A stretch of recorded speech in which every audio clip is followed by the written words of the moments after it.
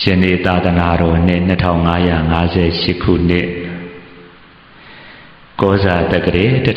1386ခုနှစ်ကဆုံလာပြီကျော်2ရက်ခရစ်နှစ်2014ခုနှစ်မေလ15ရက်ကြာတာပရိနေ့မှာစကိုင်းတောင်ရမြတ်ဆက်ကြအကြောင်းတိုက်လာရောက်ပြီးကုသိုလ်ပြုကြတာကနှစ်ဖက်သောမိဘများအားအမှုထားပြီး မန္တလေးမြို့ကျွဲဆယ်ကံရက်မှာနေထိုင်ကြတဲ့တက္ကဦးစန်းမြင့်အောင်တက္ကမတော်ကြီးပြအေးတာများဖြစ်ကြတဲ့ဘုံနေရောင်ပုံလာရောင်စူပါမိုဘိုင်းမိသားစုတို့ဖြစ်ပါတယ်မိမိတို့မိသားစုကစကိုင်းတောင်ရမြဆက်ကြာကြောင်းတိုက်လာရောက်ပြီးတန်ဃာတော်340ကျော်တို့အားနန်းတဲ့အခါမှာအာယုံစွမ်းများဆက်ကပ်လှူဒန်းခြင်း တန်ဃာတော်340ကျော်တို့အားနေ့လေအခါမွန်မြတ်သောဆွမ်းခဲပွဲပေါ်ခြင်းများဆက်ကပ်လှူဒန်းခြင်းတန်ဃာ340ကျော်တို့အားညနေအခါဖြိုရည်ဆေးပစ္စည်းများလောင်းလူဆက်ကပ်ခြင်းဆိုတဲ့တနေ့တာကုသိုလ်များကို လာရောက်ပြီးစီပူအားထုတ်တယ်ထိုမှတပါထိုဆုံးကမင်္ဂလာကိုကြောင်းပြုပြီးတော့ညစကြကြောင်းတိုင်းမာနာယကဆရာတော်အား ပစ္စည်းလေးပါလိုအပ်ရာရာအသုံးပြုနိုင်ရန်ဆယ်သိန်းကျက်တန်ဝတ္ထုပစ္စည်းများနဲ့သင်္ကန်းတွေးစုံသုံးစုံကိုလည်းပဲလှူဒန်းကြခြင်းအာဂန္တုဆရာတော်တစ်ပါးနဲ့မြတ်စကြာနာယကဆရာတော်6ပါးအလုံး9ပါးတို့အားလည်းပဲတပါးတပါးအတွက်တသိန်းကျက်တန်တသိန်းကျက်တန်စီပစ္စည်းလေးပါလိုအပ်ရာရအသုံးပြုနိုင်ရန်နဝကမ္မများလှူဒန်းခြင်း နံပါတ်၄မြတ်စကြာကျောင်းတိုက်အနုနာယကစာချဘုန်းကြီး၅ပါးတို့အားတပါးတပါးအတွက်ပစ္စည်းလေးပါလိုအပ်ရာရအသုံးပြုနိုင်ရန်9000ကျက်တန်စီ9000ကျက်တန်စီလှူဒန်းကြခြင်းနံပါတ်5မြတ်စကြာကျောင်းတိုက်ခဏဝဇကစာချဘုန်းကြီး15ပါးတို့အားတပါးတပါးအတွက်ပစ္စည်းလေးပါလိုအပ်ရာရာသုံးပြုနိုင်ရန်3000ကျက်တန်စီ3000ကျက်တန်စီဝတ္ထုများကိုလှူဒန်းကြခြင်း နံပါတ်6မြတ်စကြာကျောင်းတိုက်ခဏဝဇကအကူစာချများစာတင်သားရဟန်းတော်များတာမဏေများ332ပါးတို့အားလည်းပဲတပါးတပါးအတွက်တထောင်ကျက်တန်တထောင်ကျက်တန်ဝတ္ထုပစ္စည်းများလှူဒန်းကြခြင်းနံပါတ်9မြတ်စကြာကျောင်းတိုက်ပစ္စည်းလေးပါးပရိသပင်အဖြစ်ဆယ်သိန်းကျက်တန်ဝတ္ထုပစ္စည်းများလှူဒန်းခြင်းဘုန်းကြီးရဲ့မေတော်ကြီးဖွားပုံညာဝတီအားလည်းပဲလိုအပ်တဲ့ စီပစ္စည်းစတာတွေအသုံးပြုနိုင်ရန်တသိန်းကျက်တန်ဝတ္ထုပစ္စည်းလှူဒန်းခြင်းဆိုတဲ့ကုသိုလ်ကောင်းမှုဓမ္မမိတ်ဆွေများဖြစ်ကြတဲ့နံပါတ်1မိခင်ကြီးတော်စိန်အားလူနဲ့နိဗ္ဗာန်သုံးတန်သောချမ်းသာကိုရည်စူးမှန်းထားပြီးရန်ကုန်မြို့မှာနေထိုင်တဲ့တာယိကမာကြီးတော်အေးတန်းကလည်းပဲပစ္စည်းလေးပါးပရိသပင်အဖြစ်ဒုတိယအကြိမ်မြောက်အနေနဲ့ကျက်သိန်း90ကိုလည်းပဲလှူဒန်းခြင်း ခါဝေမြတ်ဆက်ကြာမာနိုင်ကဆရာတော်ကတသိန်းကျက်တန်ဝတ္ထုပစ္စည်းများနဲ့သင်္ကန်းတွိစုံသုံးစုံလှူဒန်းခြင်းကာငယ်ဘုန်းကြီးရဲ့မေတော်ကြီးဖွားပုံညာဝတီ89နှစ်အားလည်းပဲ9000ကျက်တန်ပစ္စည်းများကိုလှူဒန်းခြင်းဆိုတဲ့ကုသိုလ်ကောင်းမှုကိုပြုလုပ်ပါတယ် ဓမ္မမိတ်ဆွေများဖြစ်ကြတဲ့ကုသိုလ်ပြုဖက်ဖြစ်ကြတဲ့ပါရမီဖြည့်ဖက်ဖြစ်ကြတဲ့ရန်ကုန်မြို့မှာနေထိုင်တဲ့ဥအောင်တင်ဒေါ်ကျင်ဝေမိသားစုကပစ္စည်းလေးပါးပြည်သားပင်ဖြစ်ဒုတိယကြိမ်မြောက်အနေနဲ့၅သိန်းကျက်မဟာနာယကဆရာတော်ကလည်းသင်္ကန်းသုံးစုံဆက်ကပ်လှူဒန်းခြင်းထိုမှတပါရန်ကုန်မြို့ဦးစန်းမောင်ဝင်းဒေါ်ထေထေမိသားစုကလည်းမြတ်စကြာမာနကဆရာတော်ကတသိန်းကျက်တန်ဝတ္ထုပစ္စည်းများနဲ့ သင်္ကန်းတွိစုံသုံးစုံလူတန်းခြင်းအာဂန္တုဆရာတော်တစ်ပါးနဲ့မြတ်စကြာနာယကအနုနာယကကနဝစကစာကြအာလုံး26ပါးတို့အားလည်းပဲ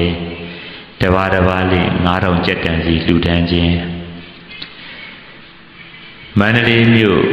ကိုပြည်မမီမီကျော်တမီကျဲစင်လင်းမိသားစုတို့ကလည်းမြတ်စကြာမာနကဆရာတော်က9000ကျက်တန်ဝတ္ထုပစ္စည်းများလှူဒန်းခြင်းအာဂန္တုဆရာတော်တစ်ပါးနဲ့ နာယကအနုနာယကကနဝဆကစာချဆရာတော်26ပါးတို့အားလည်းပဲတပါးတပါးလင်1000ကျက်တန်စီလှူဒန်းခြင်းရန်ကုန်မြို့ကဒေါ်ချိုချိုကလည်းပဲတန်ကြီးကအဖြစ်စောင့်သုံးတယ်လှူဒန်းခြင်းဆိုပြီးတော့ပါရမီဖြည့်ဘက်ပါရမီရှင်ကုသိုလ်ရှင်များကလည်းဝိုင်းဝန်းပြီးတော့ကုသိုလ်များကိုပြုလုပ်ကြတယ်တရဏဂုံသုံးပါးနဲ့တကောသီလတော်မြတ်ကိုလည်းပဲထက်မှန်ခံယူစောင့်တည်ကျင့်သုံးကြတယ် ပရိတရားတော်မြတ်ကိုလည်းပဲရိုးရိုးသေးသေးလေးလေးစားစားနာယူကြတယ်အဲ့တော့ဘုန်းကြီးအနေနဲ့ယနေ့တက္ကဆန်းနေအောင်တက္ကမကြည်ပြအေးမိသားစုနဲ့ဓမ္မမိတ်ဆွေများကိုဘာတရားဟောပေးမလဲဆိုတော့ကောင်းမြတ်သောအမွေကြံရစ်ပါစေဆိုတဲ့ခေါင်းစည်းနဲ့ဟောပေးမယ် အဲ့တော့သာသမီတွေကိုမျိုးဆက်တွေကိုအမွေပေးတဲ့အခါမှာပစ္စည်းအမွေပေးကြတယ်ဒါလည်းပဲပေးရမှာပါပဲဒါပေမဲ့ဒါလောက်နဲ့မလုံလောက်သေးပါဘူးအဲ့တော့တချို့ကြတော့လည်းပဲပညာမွေပေးကြတဲ့အသက်မွေဝမ်းကြောင်းပြုလုပ်ဖို့အတွက်ပညာတွေသင်ပေးဒါလည်းပဲမလုံလောက်သေးပါဘူး အဲ့တော့တခါတရံမှာမိဘဆရာသမားကောင်းဆောင်ဖြစ်တဲ့ပုဂ္ဂိုလ်တွေကမိမိတို့ရဲ့အပြုမူလေးတစ်ချက်ဒီအပြုမူလေးတစ်ချက်ဟာနောင်လာနောက်သားတွေအတွက်မိမိတို့ပေးရတဲ့အမွေဆိုတာဖြစ်သွားနိုင်တယ်ဒါတတိထားဖို့ကောင်းတယ်အဲ့တော့ခေါင်းဆောင်ဖြစ်ကြတဲ့မိဘတွေဆရာတွေသူတို့အနေနဲ့ အမတ်တမဲ့မကောင်းတဲ့အမူအရာလေးတွေမကောင်းတဲ့အပြုမူလေးတွေဘဝမှာပြုလုပ်မိတယ်အဲ့ဒီလိုပြုလုပ်မိတဲ့ဘဝမှာအမတ်တမဲ့အမူအရာပြုမူလေးတွေဒီပင်နောင်မျိုးဆက်တစ်တွေအတွက်အတူခိုးเสียအားကြเสียဖြစ်သွားပြီဆိုရင်ဒါဟာတမိုင်းမှာမကောင်းတဲ့အမွေတွေကိုကြံရစ်เสียရောက်တယ်မကောင်းတဲ့အမွေတွေကိုပေးရရောက်သွားတတ်တယ် တမိုင်းမှာနောက်မျိုးဆက်တွေဟာမကောင်းတဲ့အကျင့်တွေကိုဆက်လက်ကျင့်သုံးပြီဆိုရင်မိမိတို့မှာတမိုင်းမှာတရားခံဖြစ်သွားတတ်တယ်လူသေးပေမဲ့အကုသိုလ်တွေဆက်ဆက်ပြီးတော့တိုးသွားစေနိုင်တယ်ဒါတတိထားစရာကောင်းတဲ့အချက်နောက်တကကိုယ့်ရဲ့ကောင်းမွန်တဲ့အပြုအမူလေးတစ်ချက်တည်ပြီသာသမီမျိုးဆက်တွေကိုမင်းတို့ဒီအတုကိုယူကြဒီလိုတော့မပြောပါဘူး ဒါပေမဲ့ကိုယ်အမတ်တမဲ့ပြုလုပ်လိုက်တဲ့အပြုအမူလေးတည်ပြီနောက်လာနောက်သားတွေအတွက်အာကြစရာတူစုစရာဖြစ်နေကြံရစ်ခဲ့မယ်ဆိုရင်လည်းပဲသူတို့ကုသိုလ်တွေတိုးနေသည်မြသူတို့ဘာသာသာသနာကိုမြင့်တင်နိုင်သည်မြမိမိတို့မှာတမလွန်ဘဝရောက်လို့သေလွန်ပွယ်လွန်သွားတာတောင်မှကုသိုလ်ပါရမီတွေတိုးနေတယ်တဲ့နိဗ္ဗာန်မျက်မှောက်မပြုမခြင်းကုသိုလ်ပါရမီတွေတိုးနေတတ်တယ် ဒါလေးတွေကိုသိစေခြင်းတဲ့အတွက်ကောင်းမြတ်သောအမွေကြံရစ်ပါစေဒါလေးကိုဘုန်းကြီးကဟောပေးတယ်။ဘာဖြစ်လို့လဲဆိုတော့မိမိတို့မှလည်းပဲတာယတနာလေးတွေရှိနေကြတယ်။ဒီတရားယတနာလေးတွေအတွက်ကောင်းမြတ်တဲ့အမွေတွေကြံရစ်စေဖို့အရေးကြီးတယ်။အမတ်တမဲ့ကိုကပြုမှုလိုက်တယ်ဒီအပြုမှုလေးဒီပင်သူတို့အတွက်ကောင်းမြတ်တဲ့အမွေဖြစ်ဖို့သိပြီးတော့အရေးကြီးပါတယ် ဥပမာအဖြစ်ပါလဲဆိုတော့တချို့လူသားတွေမိဘတွေဆရာတွေစိတ်ညစ်တဲ့အခါအရက်သေးစားတောက်စားကြတယ်ဘာဖြစ်လို့လဲစိတ်ညစ်လို့စိတ်ညစ်လို့စိတ်ညစ်တာပြေပြောက်အောင်ဆိုပြီးတော့အရက်တောက်ကြတယ်အဲ့တော့ဒီအပြုမှုလေးဟာသာသမီတွေကိုမင်းတို့လည်းပဲငါလှုပ်တယ်လို့လုံးလို့အမွေတော့မပေးပါဘူးဒါပေမဲ့သာသမီလေးတွေရဲ့မသိစိတ်ထဲမှာဩငါတို့ဖ ခင်တွေငါတို့မိဘတွေလက်ထက်ကစိတ်ညစ်လို့ရှိရင်အရက်တောက်ကြတယ်ဒါလေးရဲ့မသိစိတ်ထဲမှာစွဲပြီးတော့ဒီအမတ်တမဲ့အပြုမှုလေးဟာသာသမီတွေအတွက်နှလုံးသားထဲမှာမသိစိတ်ထဲမှာစွဲကြံခဲ့ပြီဆိုရင်အဲ့ဒီမိဘတွေဆရာသမားတွေကတမိုင်းမှာတရခံဖြစ်သွားတယ်။သာသမီတွေဒီမကောင်းတဲ့အကျင့်တွေကျင့်နေပြီဆိုသည်မြဘာသာသာသနာညှိုးနွမ်းနေသည်မြ ဒါဟာတမိုင်းမှာတရခံဖြစ်ပြီးတော့အာကုသိုလ်တွေတိုးနေတတ်တယ်။လူသေးပေမဲ့အာကုသိုလ်တွေမသေးတယ်တဲ့မသေးဘူးလို့ဒီလိုခေါ်ရတယ်။အဲ့တော့တချို့မိဘတွေကြတော့ဘယ်လိုလဲဆိုတော့ကုသိုလ်ကောင်းမှုလုပ်တယ်ဂုံတော့မလိုက်ဘူးပကာသနာတော့မလိုက်ဘူးကိုလှူလိုက်တဲ့ပစ္စည်းဟာသာသနာအတွက်အကျိုးရှိတဲ့နေရာကိုရွေးချယ်လှူတယ်ဒီလိုပြုမှုကောင်းလေးတစ်ခုကိုကျင့်လိုက်တယ်ပေါ့အဲ့တော့ဥပမာအဖြစ် ကိုကနေပြီးတော့သာသနာအတွက်လှူမယ်သာသနာအတွက်လှူတဲ့နေရာမှာနာမည်ကြီးလို့လှူတာမဟုတ်ဘူးဂုံပကတနာတွေရရှိလို့လှူတာနိုင်ငံတော်ပေးတဲ့ဘွဲကိုလိုချင်လို့လှူတာမဟုတ်ဘူးကိုလှူလိုက်တဲ့ပစ္စည်းကိုအသုံးပြုပြီးတော့သာသနာဝန်ထမ်းတွေအသုံးပြုပြီးတော့သာသနာအလုပ်လှုပ်ဆောင်နိုင်မယ်သာသနာအလုပ်လှုပ်ဆောင်ရင်သာသနာတော်ကြီးရှည်သွားမယ်ကိုပစ္စည်းလေးကို အသုံးပြုပြီးတော့သာသနာတော်ကြီးရှည်သွားမယ်အလုပ်လေးကိုမိဘတွေကလှူလိုက်တယ်ကုသိုလ်လုပ်လိုက်တယ်သာသမီတွေကိုတော့မင်းတို့ငါတို့လုပ်တယ်လို့လုပ်ကြအမွေတော့မပေးပါဘူးဒါပေမဲ့သာသမီတွေရဲ့မသိစိတ်ထဲမှာသူတို့အရွယ်ရောက်လာလို့ကုသိုလ်လုပ်ပြီဆိုရင်ငါတို့မိဘတွေကတော့ဒီလိုနာမည်ရယုံနေတော့မလုပ်ဘူးသာသနာအတွက်အကျိုးရှိတဲ့နေရာမှာအကျိုးရှိတာတွေကိုလှုပ်သွားတယ်လို့မသိစိတ်ထဲမှာ နှလုံးသားထဲမှာဆွဲပြီးတော့အဲ့ဒီအတုမှုလေးတွေပြုကျင့်သွားပြီဆိုလို့ရှိရင်မိဘတွေဟာကွယ်လွန်သွားပြီမဲ့တမလွန်ဘဝရောက်နေပြီမဲ့နိဗ္ဗာန်မရမချင်းသာသမီတွေအမျိုးဘာသာသာသနာမြင့်တင်တဲ့အလုပ်တွေဆက်လက်မွေးခံနေတယ်မြကုသိုလ်တွေတိုးလိုက်တာဒါပါလဲဆိုတော့ကောင်းမြတ်သောအမွေတွေကိုပေးရတာတဲ့ကောင်းမြတ်သောအမွေကြံရက်ပါစီဆိုတာဒါကိုပြောတာဒါကြောင့်မို့မိမိတို့အနေနဲ့ သာသမီတွေကိုနောင်မျိုးဆက်တွေကိုတိုးတက်စေခြင်းပါတယ်နောက်မျိုးဆက်တွေကိုအစဉ်တန်းမြင့်စေခြင်းပါတယ်ဘာသာသာသနာအတွက်ဆင့်မြင့်နိုင်တဲ့သာကောင်းယတနာသမီးကောင်းယတနာလေးတွေဖြစ်စေခြင်းပါတယ်ဆိုရင်သာသမီတွေကိုပြုစုရုံနဲ့မပြီးပါဘူးမိမိတို့ရဲ့အပြုမှုကောင်းလေးတွေဟာလိုအပ်တယ်အဲ့ဒီအပြုမှုကောင်းလေးတွေတည်ပင်သာသမီတွေကိုအမွေပေးရာရောက်တယ်လို့ဒါလေးကိုဘုန်းကြီးသိစေခြင်းလို့ ကောင်းမြတ်သောအမွေကြံရပါစေဆိုပြီးယနေ့ဘုန်းကြီးကဓမ္မလက်ဆောင်ဖြစ်နေဟောပေးမယ်ဘုန်းကြီးတို့အမျိုးသားစာဆိုကြီးဆရာဆိုကြီးရလည်းပဲအင်မတန်မှကြော်ကြားခဲ့တဲ့ကြပြတစ်ပုဒ်ရေးခဲ့တယ်။ကောင်းမြတ်တော်မူကြံရစ်စေဖို့။ဩလူပြည်လောကလူဘဝကအိုရနာရတေရဥမီမှန်ပေသည်တည်တဲ့လူဆိုတာမွေးလာရင်တေရမယ်။ မတေအောင်ပူစားလို့မရပါဘူး။ဘုရားရှင်တော်မှပြိဋိဘံဆံခဲ့ရတာ။အဲ့တော့မွေးလာရင်တေးမယ်။တေးမအောင်တွေးပြီးတော့ဝမ်းနေနေရမှာလားမဟုတ်ပါဘူး။ဘာလို့ရမှာလဲ။တို့တပီကတင်သေးသွားသောတင်ဖွာသောမြေတင်တို့မြေဒီအခြေတို့မြင့်ကြံကောင်းတင်၏တင်ဤမျိုးသားစာစကားလီကြည်ပွားတမြင့်ကြံကောင်းတင်၏တင်ဦးချ၍မြဝေယစေရီသာနှင့်တစ္ဆာရောက်ညံတစောင်းလီပြောင်းလျက်ဝင်းလျက်ကြံစေသည် ကိုတည်သွားလို့ရှိကိုရဲ့ကောင်းမြတ်တဲ့အမွေနှစ်တည်းကြံရစ်ဖို့အရေးကြီးတယ်ကိုကိုကြောင်းပြပြီးတော့သားကောင်းယတနာလေးတွေသမီးကောင်းယတနာလေးတွေလူလောကမှာကြံရစ်ခဲ့ဖို့အရေးကြီးတယ်။အဲ့ဒီသားယတနာသမီးယတနာလေးတွေကအမျိုးဘာသာသာသနာမြင့်တင်ပေးနေဖို့အရေးကြီးတယ်။ မိမိရဲ့အပြုမူလေးတွေဟာနောင်လာနောက်သားတွေအတွက်အတူယူရင်သာသနာဘာသာအတွက်အကျိုးရှိဖို့ပါရမီကုသိုလ်တွေတိုးဖို့ဒါတွေအရေးကြီးတယ်။အဲ့ဒါတွေကြံရစ်ဖို့ပဲအရေးကြီးတယ်။မသေးပါနဲ့လို့တော့တောင်းတလို့မရဘူးမွေလာရင်သေမယ်တဲ့ဒါပေမဲ့လို့ကိုသေးသွားတဲ့အခါမှာကောင်းမြတ်တဲ့အမွေလေးတွေကြံရစ်စေဖို့ဒါကြပြဆရာကြီးဆရာဆိုကြီးကမာတန်းချွေခဲ့တာပါဒါလေးတွေကတိတ်ပြီးတော့အရေးကြီးတယ်ဒါကြောင့်ဘုန်းကြီးကပြောတာ ဒီတရားကိုဘာဖြစ်လို့ဟောပေးတာလဲ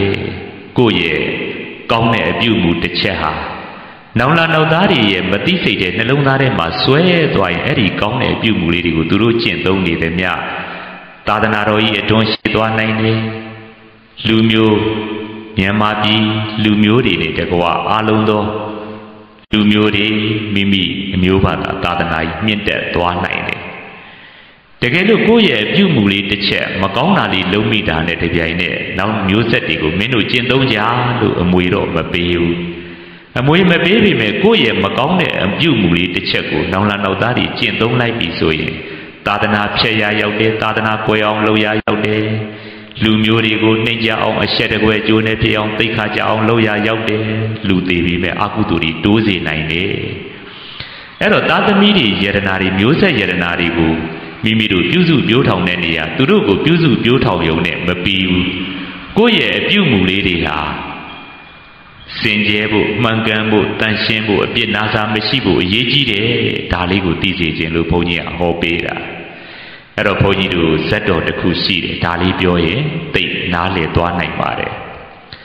ဘုန်းကြီးတို့ဒီဂိရိတတဇက်ဆိုတာမြတ်စွာဘုရားဟောခဲ့တဲ့ဇက်တော်တစ်ခုရှိတယ်သင်္ကန်းစာယူစရာတိတ်ကောင်းတဲ့ဇက်တော်လေးဒါလေးဘုန်းကြီးနည်းနည်းပြောပြပေးမယ်ဘုန်းကြီးတို့ဘုရားရှင်ပြန်ဟောတဲ့ဇက်တော်ထဲမှာပါပါလဲဆိုတော့အတိတ်တုန်းကဘုန်းကြီးတို့ဘုရားလောင်းကပါရဏတိပြည်မှာရှင်ဘုရင်ကိုအကြံပေးတယ်အကြံပေးပညာရှင်အမတ်တူသွားဖြစ်တယ်တိုင်းပြည်ကပါရဏတိရှင်ဘုရင်ကြီးရဲ့နာမည်ကတာမဆိုတဲ့ရှင်ဘုရင်ကြီးပေါ့ အဲ့တော့တာမရှင်ဘုရင်ကြီးရဲ့အကြံပေးပညာရှင်ဘုန်းကြီးတို့ဘုရားလောင်းကသွားဖြစ်တယ်အဲ့တော့ရှင်ဘုရင်ကြီးမှာလည်းပဲ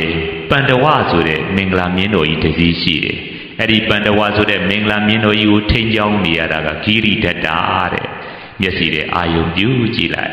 ပါရဏတိပြည်မှာတာမရှင်မြင်းကြီးအုပ်ချုပ်တယ်တာမရှင်မြင်းကြီးမှာမင်္ဂလာမြင်းတော်ရှိတယ်အမည်ကပန္တဝ ဒီမင်္ဂလာမြင်းတော်ကြီးကိုထိန်းကျောင်းနေတာကဂိရိဒတ္တာတဲ့ဘုန်းကြီးတို့ဖရာလောင်းတော်ကအဲ့ဒီမှာရှင်ပြင်းကိုအကြံပေးတဲ့အကြံပေးပညာရှင်အမတ်ကြီးသွားဖြစ်တယ်။ဒီနေ့တော့ဘုန်းကြီးတို့မင်္ဂလာမြင်းတော်ကြီးမှာယောဂတခုမထင်မှပဲစွဲကပ်လာတယ်။ဘာယောဂလဲဆိုတော့ခြေခွင်တဲ့ယောဂတဲ့။ရှင်ပြင်းနေဆိုတာကအတိတ်နမိတ်ကောက်တယ်။အဲ့တော့ သူတို့ရဲ့သူ့ရဲ့မင်္ဂလာမြင်းတော်ကြီးခြေခွင်ယောဂဆွဲကပ်တယ်ဆိုတော့မင်္ဂလာမရှိလိုက်တာဒီလိုခံစားကြတာပေါ့ဒီတော့တမားတော်ကြီးတွေလှုပ်ပြီးတော့စေကုသခိုင်းတယ်တမားတော်ကြီးတွေကလည်းပဲမင်္ဂလာမြင်းတော်ကြီးရဲ့ခြေခွင်ယောဂကိုစစ်စစ်မြင်မြင်ကြည့်ပြီးတော့ကုသကြတယ်ယောဂရှာမတွေ့ခဲ့ခြေခွင်တာပဲတွေ့တယ်ဘာကြောင့်ခြေခွင်တယ်ယောဂကိုရှာစစ်စစ်မြင်မြင်ရှာမတွေ့ကြ ဒီတော့ရှင်ပြင်းကြီးကိုတရုပ်တင်ရတယ်ရှင်ပြင်းကြီးစိတ်မကောင်းဖြစ်လို့နောက်တော့ဘုန်းကြီးတို့ဖရာလောင်းပညာရှင်အကြံပေးအမတ်ကိုရှင်ပြင်းကြီးကဖွင့်ဟတိုင်နေတယ်ဒီတော့ဖရာလောင်းတော်ကမင်္ဂလာမြင်းတော်ကြီးရဲ့အခြေအနေကိုအနိကလေးလာသုံးသက်ကြည့်လိုက်တဲ့အခါအဖြေသွားတွေ့တယ်တွေ့တော့ရှင်ပြင်းကြီးကိုတရုပ်တင်တယ်ရှင်ပြင်းကြီးရဲ့ဖွင့်ပြချက်ယူပြီးတော့ဘုန်းကြီးတို့ဖရာလောင်းကဘာလုပ်လိုက်လဲဆိုတော့ ဂိရိဒတ္တဆိုတဲ့မြင်းထိန်ကိုယာရုကဖြုတ်ပစ်လိုက်တယ်နောက်ထပ်မြင်းထိန်တစ်ယောက်ကိုအစားထိုးလိုက်တယ်အဲမကြခင်မှာပဲဘုန်းကြီးတို့အံ့ဩစရာကောင်းတော့အောင်ခြေခွင်ယောဂမင်္ဂလာမြင်းတော်ကြီးမှာပျောက်ကင်းသွားတယ်တဲ့ဒါလေးရတတိထားစရာကောင်းတယ်ဘာဖြစ်လဲမြင်းထိန်ပြောင်းလိုက်တာနဲ့ခြေခွင်ယောဂပျောက်ကင်းသွားခဲ့ဒါလေးဟာအင်မတန်စိတ်ဝင်စားစရာကောင်းတယ်ဘာဖြစ်လို့လဲဆိုတော့ဘုန်းကြီးတို့ ဂိရိတတဆိုတဲ့မြင်းထိန်ကခြေခွင်ယောဂရှိတဲ့ခြေခွင်ယောဂရှိတော့မြင်းကြီးကိုညောင်းမြင်ညာပြီးလမ်းလျှောက်တဲ့အခါရှေ့ကနေနှာရှုံကျိုးလို့ခေါ်တဲ့ပချက်ကျိုးကိုကိုင်းပြီးတော့ရှေ့ကနေလမ်းလျှောက်တဲ့အခါမြင်းထိန်ဂိရိတတကခြေတော့ကခွင်းပြီးတော့သွားနေတယ်ဒီတော့မင်္ဂလာမြင်းတော်ကြီးကလည်းပဲလိမ္မာပါနဲ့တော့ဒီမြင်းထိန်ငါ့ကိုသွားနည်းတွေသင်နေတာပဲလို့ယူဆပြီးတော့မြင်းထိန်သွားတယ်လို့ကြိုးစားပြီးတော့ အတူယူပြီးတော့တူအောင်သွားလိုက်တာမင်္ဂလာမြင်းတို့ကြီးခြေခွင်ယောဂဆွဲကပ်သွားတာပဲဒါကိုဘုန်းကြီးတို့ဖရာလောင်းကရိပ်ပြီးတော့ခြေခွင်ယောဂကိုပျောက်ချင်မြင်းထိန်လဲမှဖြစ်မှာသူသိပြီးတော့ဂိရိတတကိုယာရုကဖြုတ်ပြီးခြေတော့တန်ဆွမ်းတဲ့ကျမ်းမာရေးကောင်းတဲ့မြင်းထိန်ကိုမြင်းထိန်ယာရုခန့်လိုက်တယ်အဲကျမ်းမာရေးကောင်းတဲ့ခြေမခွင်တဲ့မြင်းထိန်ကလည်းပဲရှေ့ကနေနှာရှုံကျိုးလို့ခေါ်တဲ့ ပချက်ကျိုးကိုကိုင်းပြီးတော့ရှေ့ရနေပြီးတော့အညောင်းပညာပြီးလမ်းလျှောက်တဲ့အခါမှာမြင်းကြီးကဒီမြင်းထိန်ရလည်းပဲငါ့ကိုသွားနီးလာနီးတွေတင်ပေးတာနေမှာပဲဆိုပြီးတော့မြင်းထိန်နဲ့တူအောင်ကြိုးစားပြီးတော့သွားလိုက်တာတဲ့ဘာဖြစ်သွားလဲဆိုတော့အဲ့ဒီခြေခွင်ယောဂါကြီးပျောက်ကင်းသွားတယ်တဲ့ဘုန်းကြီးတို့ဒီဇက်တော်ဟာဘုန်းကြီးတို့တွေအတွက်အင်မတန်မှသင်ခန်းစာယူကြရအများကြီးရှိတယ် ယနေ့မိမိတို့ဆုံးခဲ့ကြတဲ့တက္ကစမ်းမြင့်အောင်တက္ကမကြီးပြအေးတို့မိမိတို့ဟာလည်းပဲမိမိတို့ရဲ့တာယရနာလေးတွေမျိုးဆက်တွေအတွက်မိမိတို့ဟာလက်ဦးစရာတဲ့မြင်းထိန်နေနဲ့တူကြတာပဲဘုန်းကြီးတို့လည်းပဲဒီမှာတန်ခါရုပ်နဲ့350ကျော်ဝါဆိုကြမယ်ဘုန်းကြီးတို့လည်းပဲတန်ခါတော်တွေရဲ့ဘာဖြစ်တယ်မြင်းထိန်နဲ့တူတာပဲကျောင်းဆရာဆရာမလုံနေတဲ့ပုဂ္ဂိုလ်တွေမြင်းထိန်နေနဲ့တူတာပဲ ရက်ွယ်အုပ်ချုပ်ရေးမှုမြို့နယ်အုပ်ချုပ်ရေးမှုကစပြီးနိုင်ငံအုပ်ချုပ်နေတဲ့ပုဂ္ဂိုလ်တွေမြင်းထိန်နေနဲ့တူနေကြတာပဲအဲ့တော့မြင်းထိန်နေရရှိရနေပြီးတော့ခြေခွင်းပြီးတော့သွားတယ်ဆိုရင်မင်္ဂလာမြင်းတော်ကြီးကိုမင်းငါသွားတယ်လို့သွားလို့တော့သင်မပေးပါဘူးသင်မပေးပြီမဲ့နောက်ကလိုက်နေတဲ့မင်္ဂလာမြင်းတော်ကြီးကသူ့ကိုသင်ပေးတယ်လို့ထင်ပြီးတော့အားကြတူယူပြီးတော့မြင်းထိန်နေတိုင်းသွားလိုက်လို့ရှိရင် ကောင်းဆောင်နေခြေခွင်လို့ရှိရင်ဘုန်းကြီးတို့အားလုံးခြေခွင်ယောဂတွေဆွဲကပ်ကုန်တယ်မြင်းထိန်ကခြေခွင်လို့ရှိရင်မင်္ဂလာမြင်းတော်ကြီးခြေခွင်သွားတယ်လို့ဘုန်းကြီးတို့တန်ဃာတော်တွေမှာကောင်းဆောင်နေတဲ့ဆရာတော်တွေရှေ့ရခြေခွင်လို့ရှိရင်နောက်ကတပိတန်ဃာတွေလည်းခြေခွင်ကုန်ရမှာပဲမိဘဖြစ်တဲ့မြင်းထိန်တွေရှေ့ရနေပြီးတော့စီပွားရေးမတရားရှားတယ်မတရားတဲ့ဖြင့်လှုပ်တယ်စိတ်တည်း ဘသူသေးသေးငတေမာပြီးရော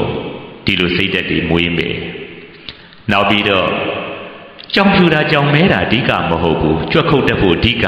ဒီစိတ်သက်နဲ့ငါချမ်းသာဖို့ငါဆင်ပြေဖို့ရှိရနေမတရားသဖြင့်ရောစီးပွားရေးတွေရှားမယ်ခြေခွင်ပြီးတော့သွားမယ်ဆိုရင်သားသမီးတွေအနေနဲ့မင်းတို့ငါတို့လှုပ်တယ်လို့လုံးလို့မမွေတော့မပေးပါဘူးဒါပေမဲ့လို့နောင်လာနောက်သားဖြစ်တဲ့မျိုးဆက်တွေရဲ့မသိစိတ်နှလုံးသားထဲမှာ ငါတို့ရဲ့မိဘတွေငါတို့ရဲ့ဆရာတွေကဒီလိုကျင့်သုံးသွားပါလားဒီလိုကျင့်သုံးပြီးတော့ဒီလိုချမ်းသာသွားပါလားဒီလိုတွေမြင်သွားပြီဆိုလို့ရှိရင်အတူလိုက်ပြီးတော့ကျင့်မယ်သူတို့ကျင့်လို့ကိုယ့်ရဲ့အမတ်တမဲ့လုပ်ခဲ့တဲ့ခြေခွင်ယောဂါဆိုတဲ့မကောင်းတဲ့အကျင့်တစ်ခုလေးဟာသူတို့ဆွဲကပ်သွားပြီဆိုရင်သူတို့မှလည်းအကုသိုလ်တွေဖြစ်မယ်ဘာသာသာသနာလည်းပဲနှိမ်ကြသွားမယ်နိုင်ငံတော်ကြီးလည်းပဲသိခါကြအရှက်တကွယ်ကျိုးနေဖြစ်မယ် အကုသိုလ်တွေတိုးလိုက်တာအဲ့တော့တောင်မျိုးဆက်တွေအကုသိုလ်တွေတိုးနေတယ်မြရှေ့ရကောင်းဆောင်ဖြစ်ကြတဲ့ဆရာတွေကောင်းဆောင်ဖြစ်ကြတဲ့မိဘတွေကောင်းဆောင်ဖြစ်ကြတဲ့နိုင်ငံကောင်းဆောင်တွေသူတို့မှာအကုသိုလ်တွေတိတ်ပြီးတော့တိုးသွားပါပဲလူသာတည်သွားတာအကုသိုလ်တွေကတိုးသွားနိုင်တယ်တဲ့ဒါလေးတွေကိုဘုန်းကြီးကသိစေခြင်းဒါကြောင့်ကောင်းမြတ်သောအမွေကြံရစ်ပါစေဆိုတာကိုကတီးတန့်ကြီးအမွေပေးတာတော့မဟုတ်ဘူး တခါတရံကိုယ့်ရဲ့ပြုမှုလေးတွေကကိုသားသမီးကိုတော်စေခြင်းတယ်လို့တော့ပြောကြတယ်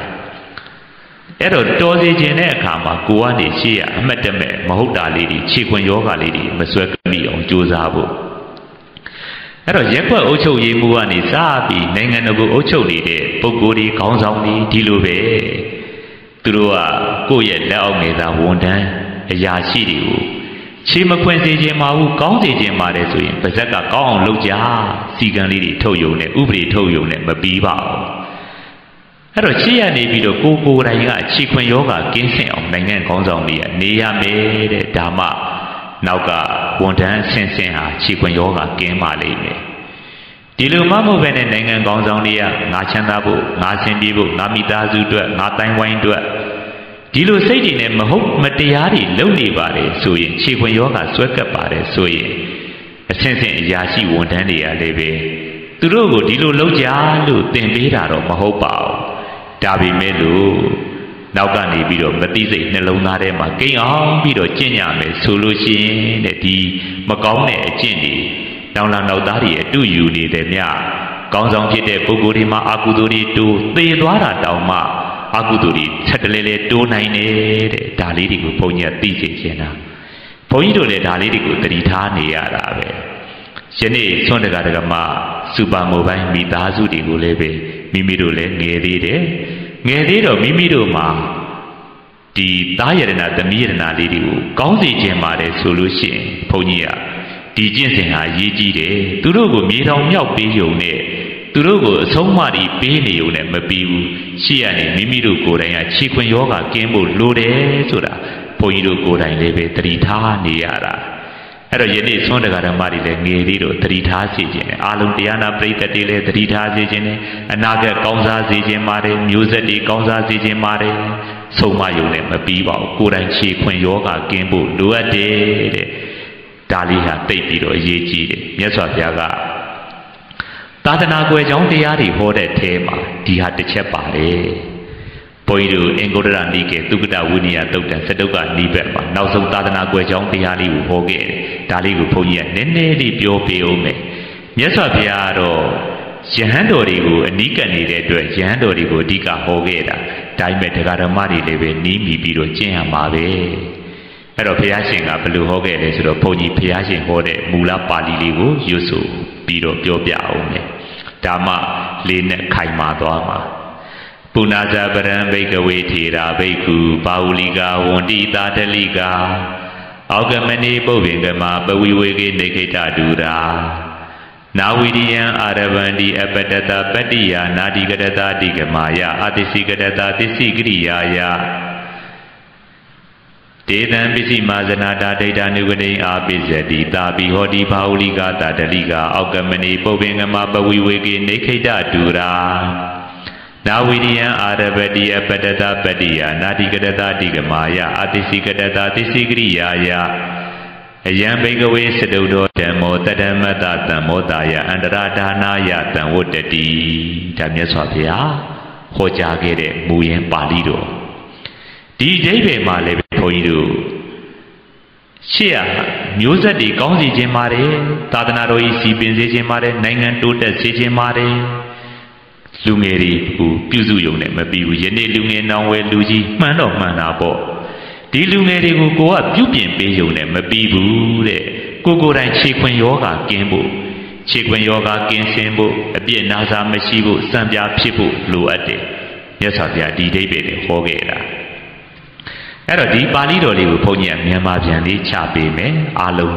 မြန်မာပြန်နားထောင်ရင်ကိုပဲနားလည်တော့ပါတယ်ပြီးရင်ဘုန်းကြီးအတိတ်ပဲနည်းနည်းထက်ရှင်းပေးမယ်ပေါ့ကဲအားလုံးလည်းချီပြီးတော့လိုက်ဆိုလိုက်ကောင်းဆောင်မထေကြီးတို့ကလက်ပူဇော်တက္ကာရ၌သာအလေးကရုပြုကြ၍သာသနာတာဝန်နှစ်ရက်ကို စိတ်ထားမှန်ကန်စွာဖြင့်ကြိုးစား၍မထမ်းဆောင်ခဲ့သောနောင်လာနောက်သားတပီများကလည်းဆရာလမ်းစဉ်ကိုအတူယူကျင့်သုံးခဲ့သောသာသနာတော်ကွယ်မီအတိတ်တွေကကောင်းဆောင်မထေဆိုတာက ဆယ်ဝါရပြီးတော့တက်တော်30ကျိုးတဲ့ရဟန်းတော်တွေကောင်းဆောင်တွေကောင်းဆောင်မထေကြီးတွေကတဲ့လက်ပူဇော်တက္ကာရ၌သာ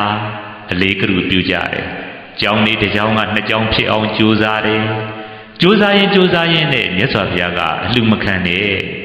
ဒါမျိုးပြောတယ်အလှခံပြီးတော့ကျောင်းကြီးတွေကောင်းအောင်ကြိုးစားကားတွေကောင်းအောင်ကြိုးစားကြိုးစားရင်ကြိုးစားရင်နဲ့မြတ်စွာဘုရားရဲ့အဆုံးအမသီလတွေရော့ရော့ရော့ရော့သွားတယ်။ ကျောင်းကြီးတွေတိုးအောင်ကြိုးစားလိုက်သီလတွေပြတ်သွားလိုက်မြတ်စွာဘုရားမကြိုက်တဲ့အလုပ်တွေလုံမိလိုက်သီလဆိုတာဘုန်းကြီးတို့သာသနာပဲသာသနာဆိုတာဘုရားရှင်ရဲ့အဆုံးအမဒါကိုပြန်ပြီးတော့အကျဉ်းချုပ်လိုက်တယ်ဆိုရင်သီလသမารိပညာဒါကိုသာသနာခေါ်တာအဲ့တော့ကျောင်းကြီးတွေကိုတော့ကြီးမားအောင်တစ်ထက်ကနှစ်ထက်နှစ်ထက်ကသုံးထက်ကြိုးစားလိုက်တာဒါကြိုးစားရင်ကြိုးစားရင်နဲ့မြတ်စွာဘုရားကဝိနိသိက္ခာဘုံမှာအလူမခံရ တရားဓမ္မတွေကိုလှူခံတဲ့အကြောင်းအရေးမြတ်များမပြောရဒါမျိုးတွေသိက္ခာဘုံပင်ညက်တဲ့သီလတွေရှိတယ်အဲ့တော့ကျောင်းကြီးတွေကောင်းအောင်ကြိုးစားရင်ကြိုးစားရင်နဲ့မြတ်စွာဘုရားရဲ့အဆုံးအမတွေနှလုံးသားထဲမှာလုံပါပါသွားတယ်သီလတွေပါပါပါပါသွားတယ်ဒါဆိုရင်ဘာဖြစ်လဲသာသနာတော်ကွယ်မယ်တဲ့လက်တွေအပြင်သီလသာသနာကွယ်တော့တာပဲနောက်ပြီးတော့စိတ်သက်တွေက မိမိတို့မှာလုံလောက်နေပါလေရဲ့ပစ္စည်းတွေပေါ်များအောင်ကြိုးစားတရားဓမ္မတွေနဲ့ရောဝင်အောင်ကြိုးစားလှူခြင်းတဲ့လှူခြင်းအောင်တိုက်တွန်းပြီးတော့စိတ်တွေကလောဘတွေလွမ်းလာတော့တမာရီအားတွေနဲနေနေနေသွားတယ်လောဘဒေါသတွေများလေတမာရီအားနေဒီတော့တမာရီသာသနာတွေလည်းကွယ်လို့အဲ့တော့ကြောင်းကြီးတွေတိုက်တာကြီးတွေအဆောက်အဦကြီးတွေကတော့ဟိထာလို့အင်မတန်မှသာသနာအတွက်အားရစရာကောင်းတယ်လို့တော့ထင်ပါရဲ့ နှလုံးသားထဲမှာသီလသာသနာတဖြည်းဖြည်းနဲ့ရော့ရော့ရော့ရော့သွားကွယ်ကွယ်ကွယ်ကွယ်သွားတမာရီသာသနာလောဘဒေါသတွေရဲ့အုပ်ဆိုလာတော့မေတ္တာကရုဏာစတဲ့စိတ်ကောင်းစိတ်မြတ်တမာရီတွေရော့ရော့ရော့ရော့သွားဒါကိုအမှန်တိုင်းမဟုတ်ဘူးမကောင်းဘူးလို့မသိတော့ပညာသာသနာအမှန်တရားကိုသိတဲ့ပညာသာသနာတွေရော့ရော့ရော့ရော့သွားအဲ့တော့အဆောက်အုံတွေကတော့များလာပါရဲ့ သီလသမารိပညာသာသနာဆိုတဲ့ဒီသာသနာတော်ကြီးကတော့တဖြည်းဖြည်းနဲ့လုံပါပါလို့အဲ့ဒါကိုမြတ်စွာဘုရားကကောင်းဆောင်မထေတွေကတဲ့လက်ပူဇော်တက္ကာရများအောင်ကြိုးစားကြတယ်တဲ့ဒါပေမဲ့လို့ သီလသမารိပညာစံဝိပဿနာမတ်ဖို့ကိရိတာနဲဖို့အကျင့်တွေတဖြည်းဖြည်းရော့ရော့ရော့ရော့လာတယ်နောက်တပည့်တွေကလည်းပဲဆရာသမားအတူကိုယူဒီပုံစံပဲဖြစ်လာတယ်ဆိုရင်သာသနာကွဲမယ်တဲ့ အဲ့တော့အယံဘိကဝေစေတုတော်ဓမ္မောတတ္တမတာတမ္မောတာယအန္တရဒါနာယတံဝတ္တတိဘိကဝေယံတော်များဥจิตသားတို့စတုတော်လေးခုမြောက်သောအယံဓမ္မောဤဆရာတပည့်အဆက်ဆက်ပစ္စည်းပရိက္ခာကိုများစွာခံယူ၍ပစ္စည်းပရိက္ခာများအောင်သာကြိုးစား၍ ဇံဝိပဒနာမဖို့ရအောင်အာမထိုခြင်းဟူသောဤသဘောတရားသည်တတမတသူတော်ကောင်းတရားသည်ဟူသောသာသနာတော်ဤအန္တရာဌာနာယကွယ်ပြောက်ခြင်းကတံမောတာယမေးပြောက်ပျက်စီးခြင်းကတံဝတ္တတိဖြစ်ပါပေ၏ဤတိသို့ဘဂဝါသုံးလောကဒုဒ္ဒရှင်တော်မြတ်ဖျားသည်အဝေါစာကရုဏာရှိသွားပညာအဖြင့်ဟောကြားတော်မူခဲ့ပါပေတည်း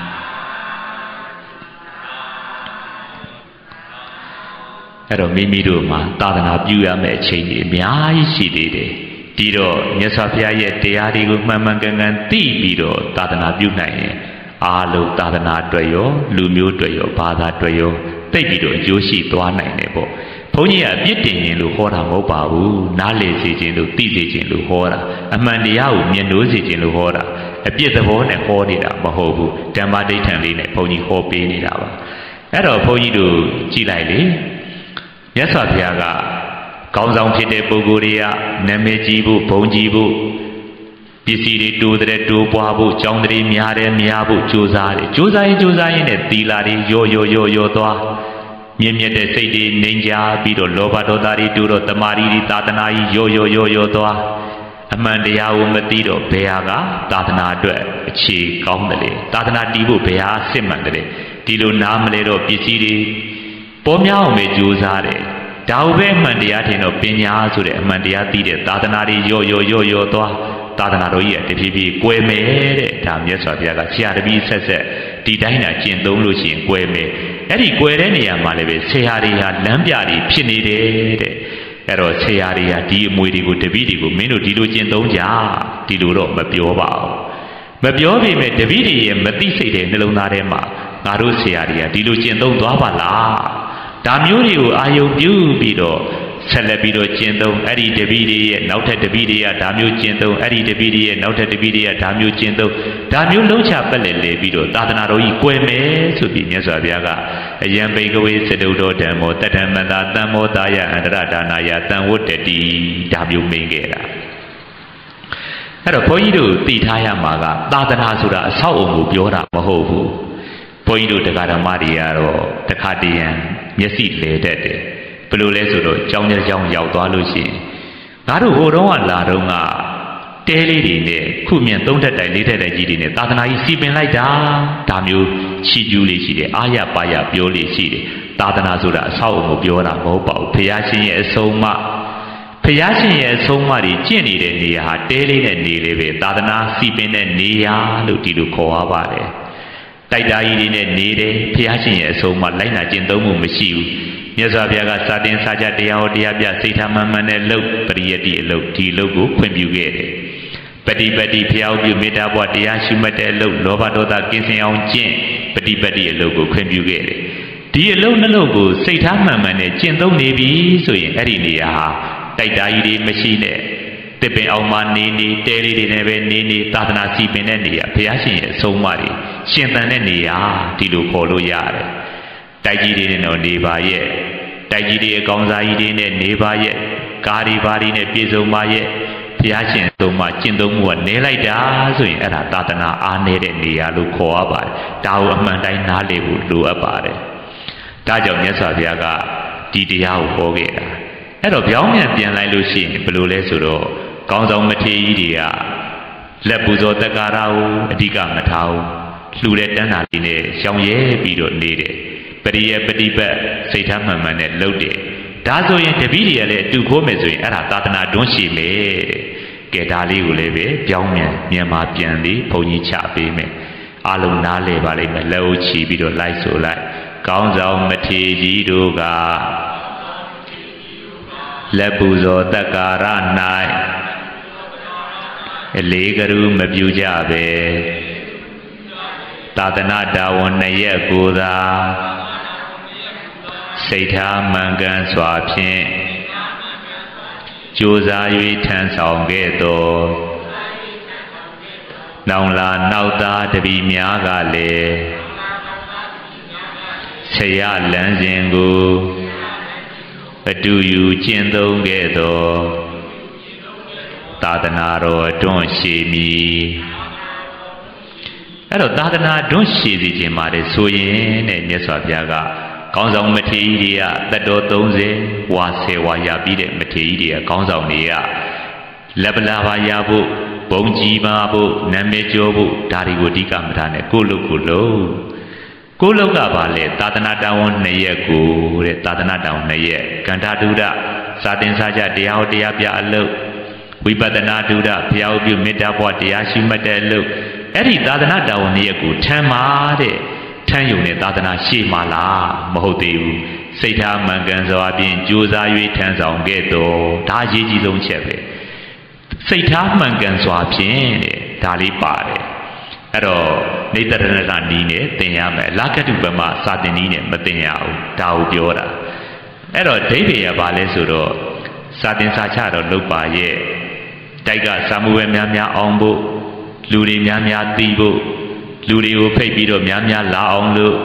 များများလှူဒန်းအောင်လို့ဒီစိတ်တွေနဲ့လုပ်တယ်ဆိုရင်ဒါစိတ်ထားမှန်မှန်တော့ဘူးလောဘဒေါသတွေကဘုရားရှင်ခိုင်းတဲ့ပရိယတ်တိအလုပ်ကိုလုပ်ရင်းနဲ့လောဘဒေါသတွေဖြစ်လို့ဒါဆိုရင်နိဗ္ဗာန်နဲ့ဝေးမယ်လောဘဒေါသတွေဖြစ်ရင်သီလသမာဓိပညာတွေအားနည်းလို့သာသနာတော်နှလုံးသားမှာကွယ်သွားမယ်တကွေတကာယသာသနာကွယ်တယ်လို့ဒီလိုခေါ်ရတယ်အဲ့တော့ဘုန်းကြီးတို့ စိတ်ထားမှန်ကန်စွာနဲ့တရားဟောတယ်တရားဟောရင်လည်းဒီလိုပဲလက်လာပါလိုချင်လို့နာမည်ကြီးလို့ဟောတယ်ဒါလည်းပဲလောဘဒေါသတွေများပြီးတော့သီလသမာဓိပညာသာသနာကြီးကွယ်နိုင်တာပဲကမ္မထံပြတယ်ကမ္မထံပြတဲ့နေရာမှာလည်းပဲကိုကြောင်မှလူတွေများများလာဖို့ဆော်ဩတယ်ဒါမျိုးတွေမလုပ်အောင်ဘယ်လိုလုပ်ရမှာလဲဆိုတော့စာတင်စာချလုပ်တယ်ငါမျိုးဆက်တစ်ပါးလောက်စိတ်ကောင်းစာတက်ဒါလေးတစ်ပါးလောက်ထုတ်ထွက်ပေါ်အောင်ကြိုးစားနိုင်အနာဂတ်သာသနာအတွက် သူဟာငါအတွက်တာဝန်ကြီးပြီသူဟာနာဂတ်သာသနာအတွက်မျိုးဆက်တွေဆက်ထုတ်ပြီးတော့သာသနာရှိအောင်လုပ်မယ်သာသနာတော်ကြီးရှိပါစေဒီစိတ်ထားလေးနဲ့စာသင်စာချလုပ်တယ်ဂုံလိုခြင်းလို့တရားဓမ္မပေါ်များအောင်လို့ဒီစိတ်တွေကိုတက်နိုင်နေမြတ်ကြိုးစားဖယ်ရှားတယ်တရားဟောတယ်ကိုဟောလိုက်တဲ့တရားကိုနာယူပြီးတော့အတိမှန်အမြင်မှန်နေရပါစေလမ်းမှန်ပေါ်ရောက်ပါစေဒီလိုစိတ်ထားနဲ့ဟောတယ်ပုံကြည်ခြင်းလို့လက်လာပလိုခြင်းလို့ဒီစိတ်ထားမပါဘူးသူများကိုနှိပ်ကွက်ခြင်းလို့နှိမ်ချခြင်းနဲ့စိတ်မပါဘူး နောက်တစ်ခါတရားပြတယ်ဒီတရားနည်းလမ်းကိုသိပြီးတော့9မိနစ်တရားရှုမှတ်ရင်9မိနစ်ကိလေသာကင်ညာပါစေ9မိနစ်ငြိမ်းချမ်းမှုဘဝတည်ဆောက်နိုင်ကြပါစေဒီစိတ်ထားလေးနဲ့တရားပြရင်ကိလေသာတွေငြိမ်းလို့အဲ့တော့လောဘဒေါသတွေငြိမ်းနေတယ်ဆိုရင်သီလသမာဓိပညာတွေရဲ့ရင့်တန်လိုက်အဲ့မှာသာသနာစီးပင်တယ်သာသနာတွန်းရှည်တယ်ဆိုတာဖြစ်သွားတော့တာပဲဒါကြောင့်ဘုန်းကြီးတို့ကောင်းဆောင်မထေရကြီးတွေကပရိယတိပฏิပတိလို့ကိုစိတ်ထားမှန်မှန်နဲ့လုပ်တယ် တပည့်ဆက်ဆက်ကလည်းပဲသူတို့ဆရာလှုပ်သွားတဲ့အတိုင်းပဲလူများအောင်ပုံကြီးအောင်နာမည်ကြီးအောင်အမျိုးမျိုးလှုပ်ရှားမှုမလုပ်ဘဲနဲ့ကိုယ်လှုပ်ကလေးကိုလှုပ်လို့ဘုရားရှင်ရဲ့အဆုံးအမတွေနှလုံးသားထဲမှာကိန်းနေတယ်ဆိုရင်ဆရာတပည့်ဆက်ဆက်ဒီလိုကြိုးစားမယ်ဆိုရင်ဒါသာသနာတော်တွန်းရှိမယ်လို့ဒီလိုပြောရရောက်ပါတယ်အဲ့တော့ဒီလိုဆရာတပည့်ဆက်ဆက် ကြောင့်သာသနာရှည်သွားတယ်ဆိုရင်ဆရာသမားတွေမှာကုသိုလ်ပါရမီတွေဖြစ်လိုက်တာသူတို့ရဲ့ပြုမှုတွေတစ်ချက်ကိုနောက်လာနောက်သားတွေမင်းတို့ဒီလိုကျင့်ညာလို့မပြောပေမဲ့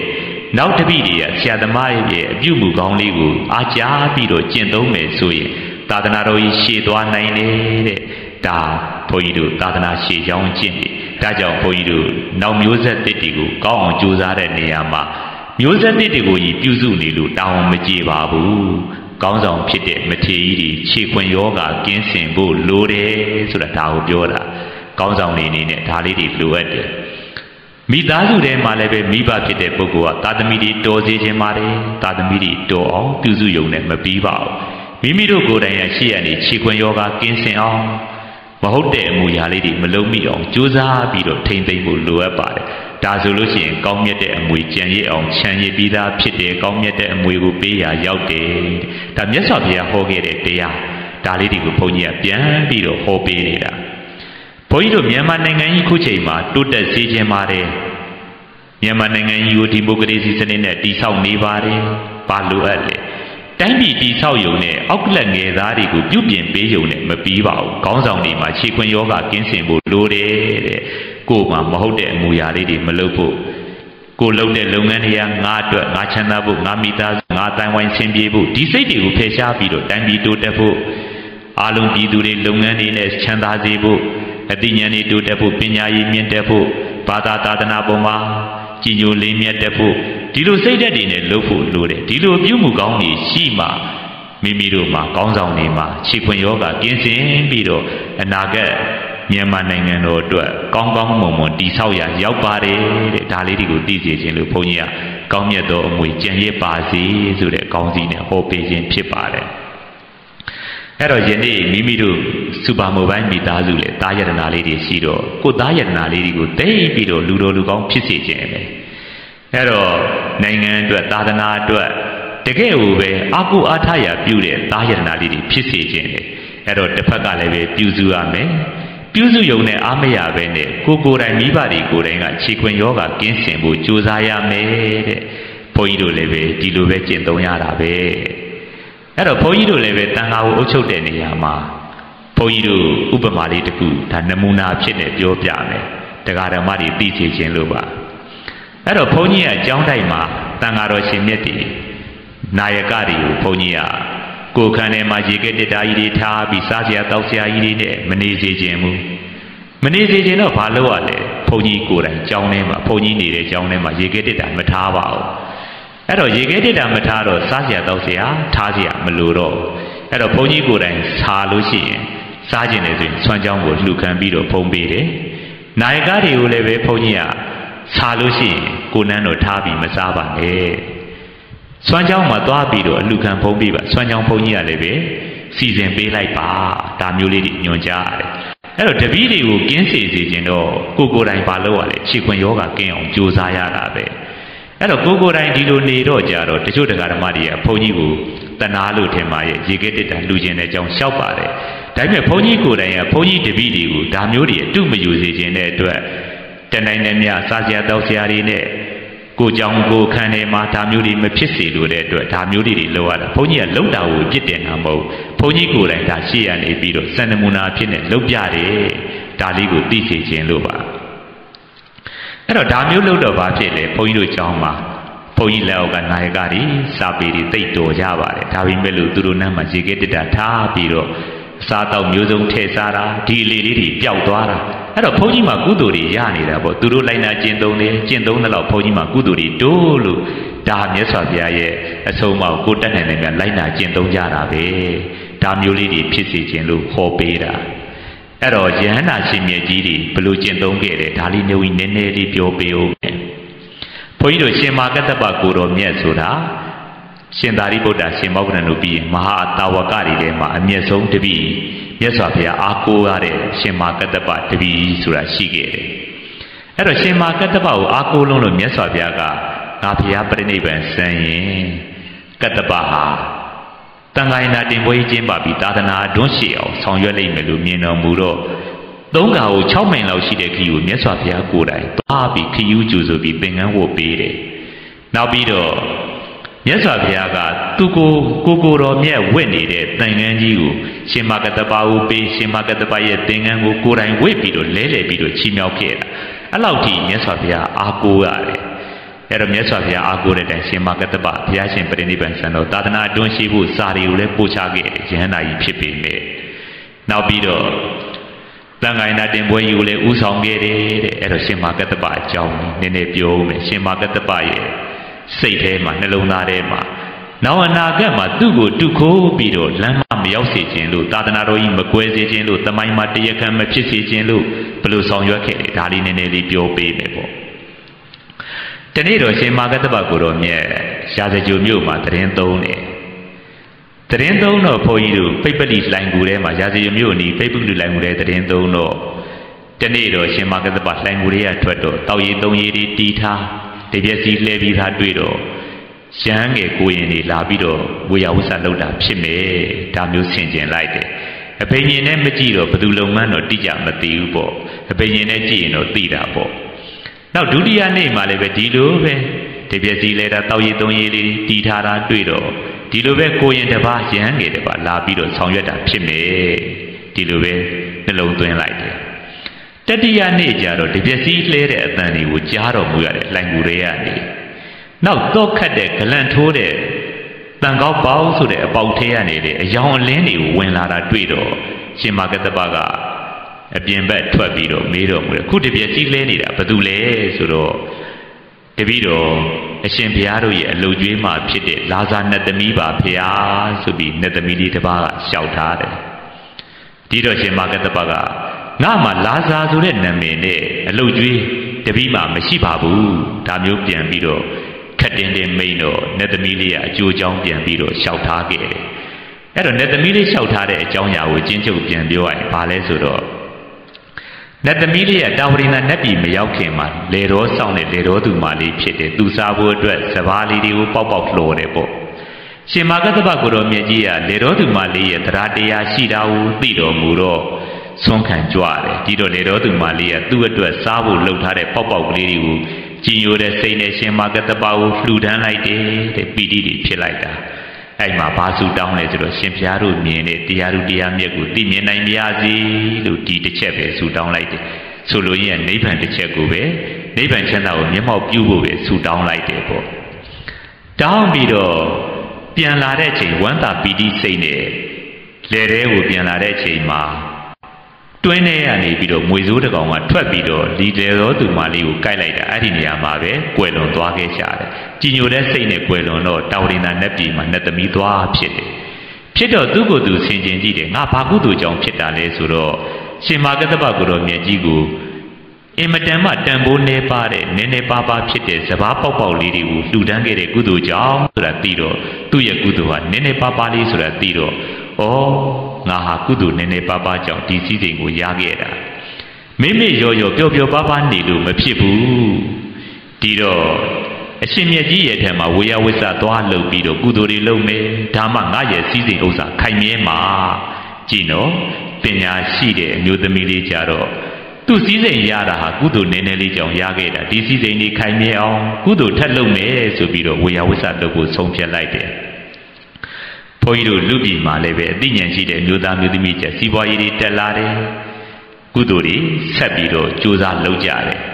ဒီတော့စီစဉ်ဥစ္စာတွေကမတောင်းတလည်းပဲခိုင်မြဲသွားတာဒါတွေလည်းရှိကြတယ်တချို့ကျအောက်ခြေလို့လို့စီးပွားဥစ္စာတွေတက်ခါရှိသေးတယ်အိမ်တော်ကြီးဖောက်ပြန်ကြစီးပွားဥစ္စာကြီးတွေတက်ခါရှိသေးတယ်မူရည်စေဝါတွေဆွဲလန်းကြအရက်သေးစားတွေဆွဲလန်းကြ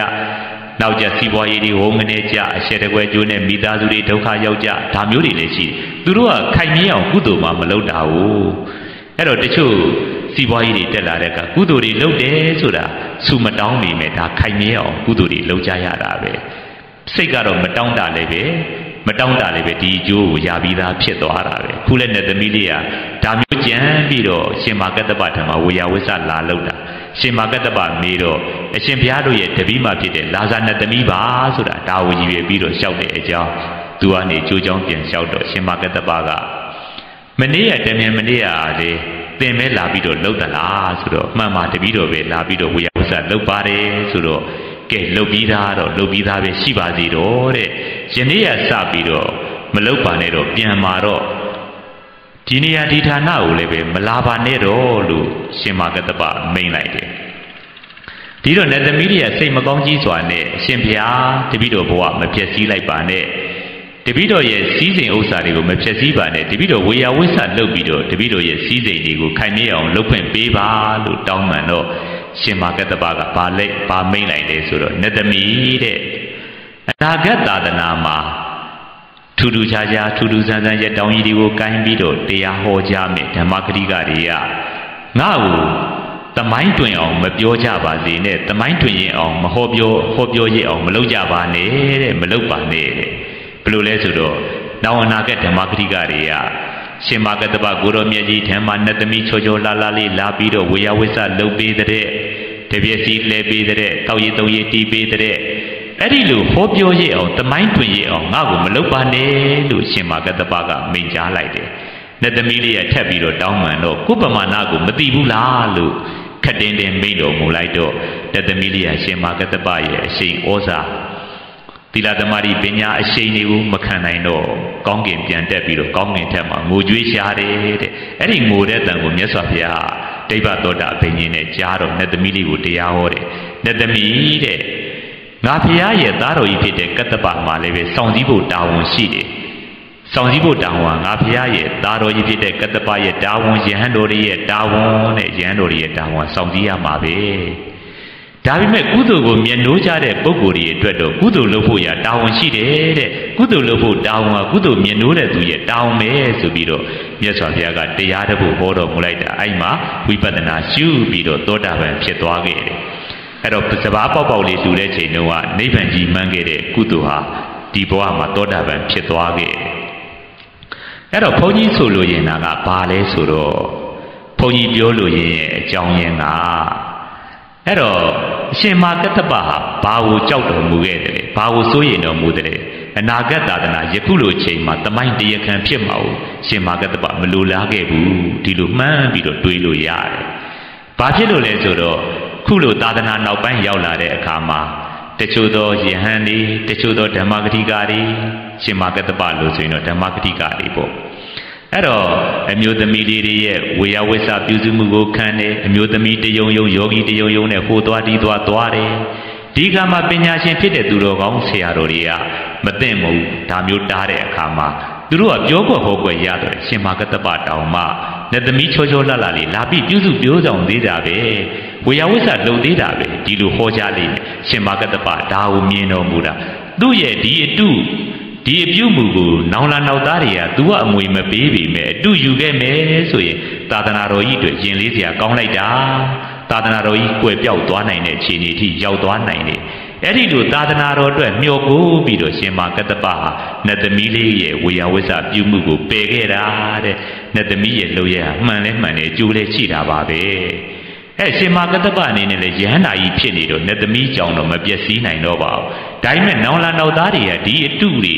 ဒီအပြုမှုတွေကိုယူခဲ့လို့ရှိရင်ကိုတော်မြတ်ကြီးကကိုကိုယ်တိုင်မပျက်စီးပေမဲ့အနာဂတ်သာသနာမှာညင်နွမ်းသွားမှာစိုးရင်တော်မူတဲ့အတွက်အတူကိုသွားမှာစိုးရင်တော်မူတဲ့အတွက်ရှင်မာကတ္တပနတ်သမီးကိုပြက်ပြက်သားသားမိန်တော်မူခဲ့တယ်လို့ဘုန်းကြီးတို့ဒီလိုကြည်ညိုလို့ရတယ်အဲ့တော့ယန္တာရှင်မြတ်ကြီးတွေဘလောက်ကြည်ညိုဖို့ကောင်းလဲ ကိုကိုယ်တိုင်ယန္တာဖြစ်တယ်လောဘဒေါသတဏှာတရားကင်းစင်နေတယ်ဘယ်နဲ့သမီးညာကြောင့်ဘလို့မှမပျက်စီးနိုင်တဲ့ဘဝရောက်တာတောင်မှကိုမပျက်စီးနိုင်ပြီမဲ့ကိုယ့်ရဲ့ပြုမှုတွေကိုနောင်နာက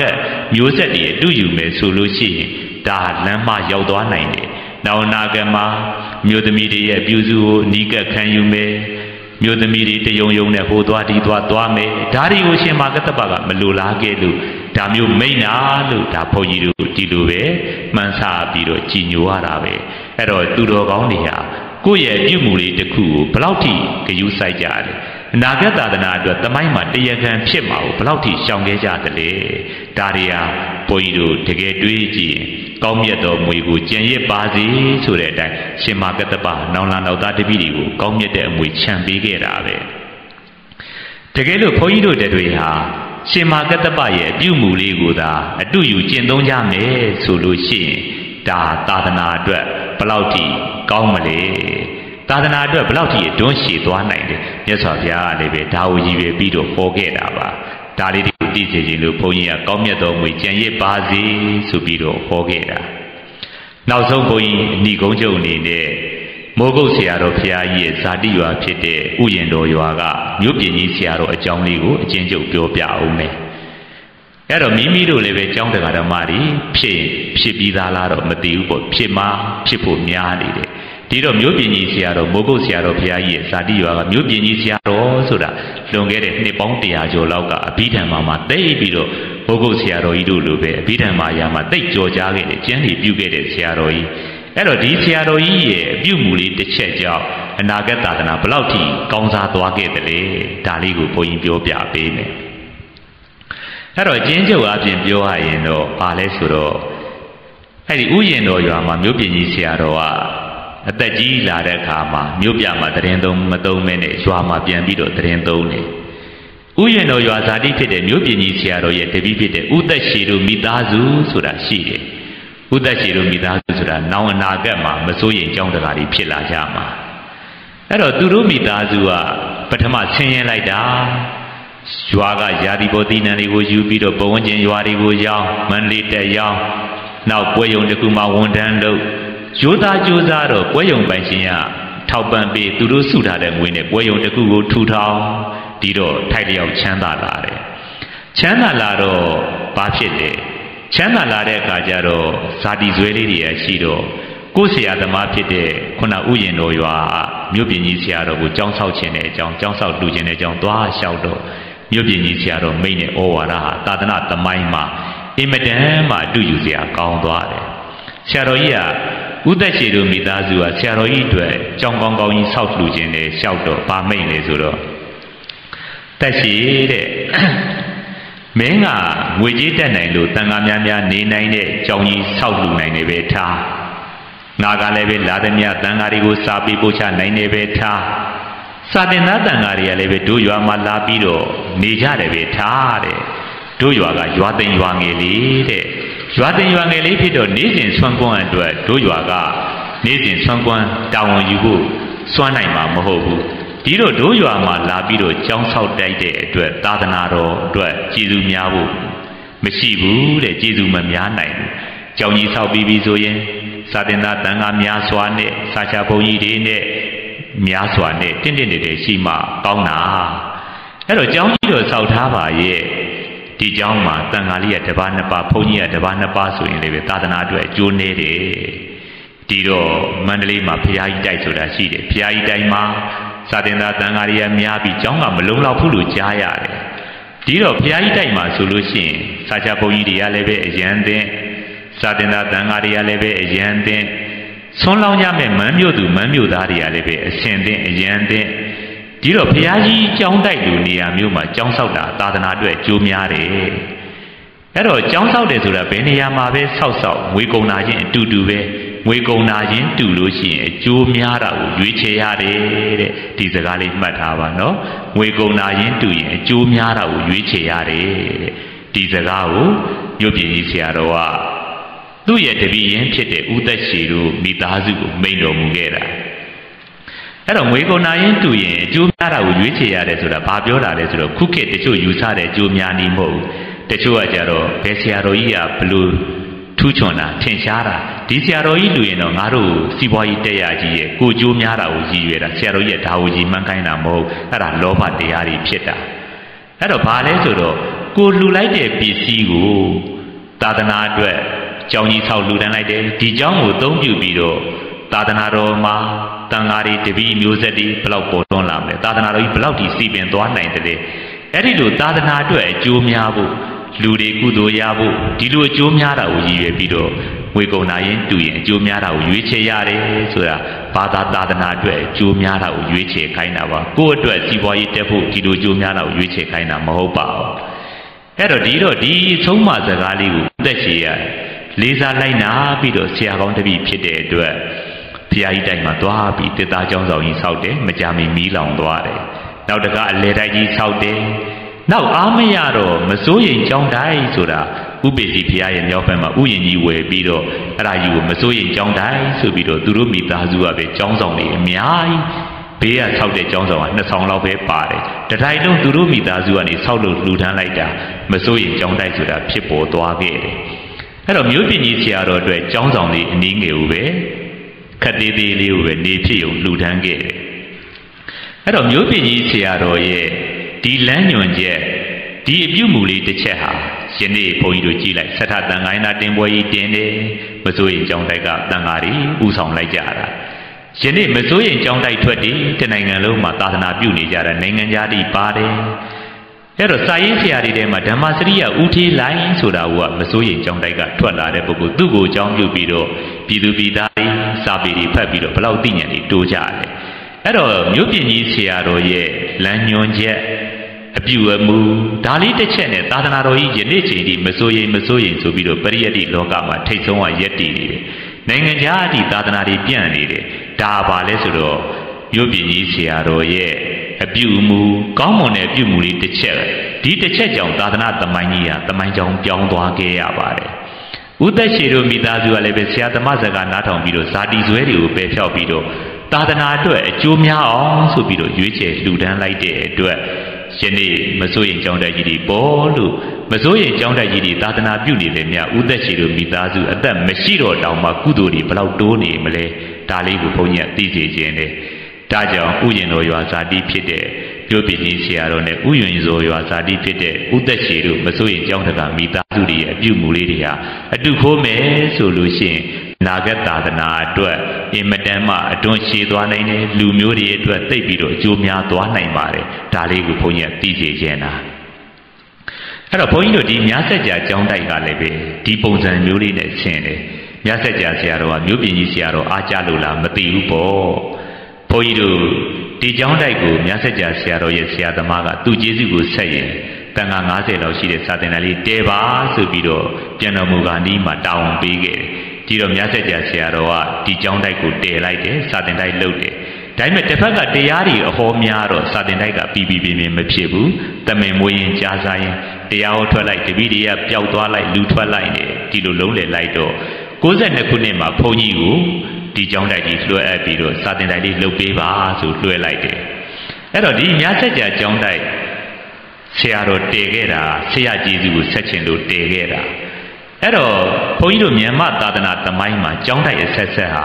ဆွေချောင်းမျိုးချောင်းတွေဖြစ်ခဲ့ကြတယ်ကိုမရှိလို့ရှိရင်ကိုဆွေမျိုးကိုပေးတယ်ကိုနီးစရာကိုပေးတယ်ဒီတော့တဆင့်တဆင့်မျိုးဆက်တွေကနေနေနေနေပြီးတော့ကျောင်းတိုက်တွေက3-40လောက်ရောက်ရင်တိမ်ကောလို့ခုမြတ်ဆက်ကြာဆရာတော်ကသူ့ရဲ့တူဝရင်ရှိပါလေနဲ့တူဝရင်ကိုဒီကျောင်းတိုက်ကြီးမလွယ်ပဲနဲ့ဘုန်းကြီးကတူဝရင်မဟုတ်ဘူးဆွေမျိုးနည်းနည်းတော့ဆက်တယ်ဒါပေမဲ့ဆွေမျိုးမရင်ချပေမဲ့သာသနာအတွက်ကြည်ပြီးတော့ဆရာတော်က လွယ်ခဲ့တယ်အဲ့တော့မြို့ပြည်ကြီးဆရာတော်တို့လိုပေါ့အဲ့တော့ဒီလိုလှုပ်လိုက်တဲ့အတွက်ယနေ့ဘုန်းကြီးတို့မြတ်ဆက်ကြကျောင်းတိုက်ဟာလည်းအတိုင်းတာတစ်ခုထိသာသနာအတွက်ဥဒ္ဒချက်သေးတဲ့ပွင့်နေနဲ့အကျိုးများတဲ့ကျောင်းတိုက်ဖြစ်သွားခဲ့တာဒီပြုမှုလေးတွေဟာအနာဂတ်မျိုးဆက်တွေတူခိုးမယ်ဆိုရင်ကျောင်းတိုက်တွေဟာဒုတိယမျိုးဆက်တွေမှာပို့ပြီးတော့တင်တယ်ပြီးတော့သာသနာတော်ကြီးအတွန်းရှည်သွားနိုင်တယ်ဒါလေးကိုသိစေခြင်းလို့ဘုန်းကြီးကယနေ့လူငယ်တွေဖြစ်ကြတဲ့ဆွမ်းတကာဓမ္မတွေကို ကောင်းမြတ်သောအမွေကြံရည်ပါစီဆိုပြီးတော့ဒီတရားလေးကိုလက်ဆောင်ပေးတာပါဒါကြောင့်ဆရာတော်တွေဘက်ကရှင်မဂတပကိုရောမြတ်တို့မြို့ပြင်းကြီးဆရာတော်တို့မြတ်စကြာဆရာတော်တို့သူတို့ရဲ့ပြုမှုလေးတွေကနောက်ကအတူယူမဲ့ပုံကိုယ်တွေအတွက်သာသနာတွန်းရှည်စေနိုင်တဲ့လူမျိုးတွေတိုးတက်စေနိုင်တယ်ဥသက်ရှည်တို့လိုမိသားစုတွေရဲ့အပြုမှုလေးတစ်ချက်ကိုတူယူမိလို့ရှိရင်လည်းပဲသာသနာတော်ကြီးပြန်လဲပြီးတော့ဥမော့လာနိုင်ပါတယ် ဒါကြောင့်မိမိတို့ရဲ့မျိုးဆက်တွေကိုတိုးတက်စေခြင်းပါတယ်နာဂတ်သာသနာအတွက်အာကိုအားထားရဖြစ်စေခြင်းအောင်ပြုစုခြင်းပါတယ်ဆိုရင်သူတို့ကိုပြုစုရုံနဲ့အာမကြပဲနဲ့မိမိတို့ကိုယ်တိုင်လည်းပဲရှေ့ရနေပြီးတော့ခြေခွင်ယောဂကင်းစင်အောင်ကောင်းတဲ့ပြုမှုလေးတွေကိုပြုမှုနိုင်အောင်ဘုန်းကြီးကကောင်းမြတ်တော်မူကြံရစ်ပါစီဆိုတဲ့ဒီတရားလေးကိုဓမ္မလက်ဆောင်ပေးပါတယ်ဒီတရားတော်ကိုနာယူပြီးတော့ ရှင်နေ့ကုသိုလ်ရှင်များပြရတဲ့တက္ကဆန်းမြင့်အောင်ဓမ္မကြီးပြအေးနဲ့ဓမ္မမိတ်ဆွေများဟာမိမိတို့ကိုယ်တိုင်ခြေခွင်ယောဂကင်းစင်အောင်ကြိုးစားပြီးတော့နောင်လာနောက်သားတွေအတွက်အတူယူနိုင်ကောင်းတဲ့တုမှုလေးတွေကိုပြုမှုကြိုးစားအထောက်နိုင်ကြပါစေဒီလိုပြုမှုရင်ပြုမှုရင်နဲ့နှလုံးသားမှာပါရမီတွေရင်းတန်ပြီးမဉ္ဇဉ်ပူဉ္ဇဉ်ဖြင့်နိဗ္ဗာန်ချမ်းသာမြတ်ကိုကိုစီကိုငါလင်းမြန်စွာမျက်မှောက်ပြုနိုင်ကြပါစေကုန်သတည်း